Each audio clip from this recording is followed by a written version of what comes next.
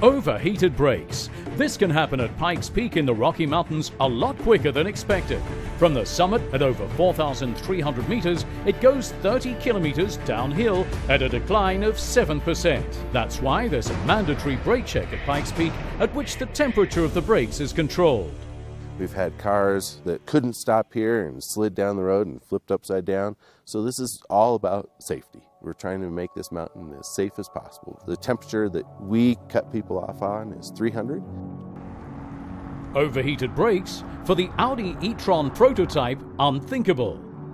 Wir nutzen in In 90% of all cases, we only use the electric motor to brake. We recuperate and thereby decelerate the vehicle, using the friction brake only seldom. Therefore, we are very efficient. und sind damit sehr effizient.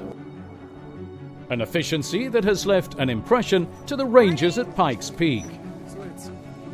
All right. You guys are 48 degrees. The, the ground right now is 45 degrees Fahrenheit, and the warmest brake temperature down so far is 52 degrees Fahrenheit. So it's very impressive. Most cars don't get below 100 degrees Fahrenheit. 52 degrees Fahrenheit, that's just 11 degrees Celsius.